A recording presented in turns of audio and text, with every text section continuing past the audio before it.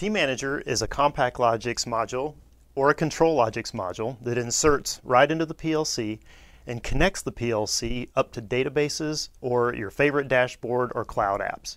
tManager is a built-for-purpose connectivity solution for Rockwell PLCs, so there's no PC in the middle, no software code to write, no OPC protocol translation. Softing also helps you get connected with networking communications infrastructure. This module connects your Ethernet PLCs by copper cable.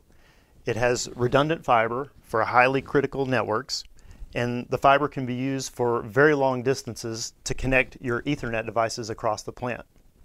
We have DIN rail mounted modules and also in chassis modules to simplify your networking connection.